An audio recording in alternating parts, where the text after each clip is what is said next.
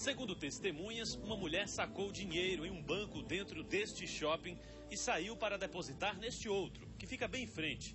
Quatro homens armados esperavam do lado de fora para roubar a quantia. A funcionária de lá veio fazer né, o depósito. Ele já, com o telefone celular, já indicou a senhora, mas a senhora desconfiou e aí voltou.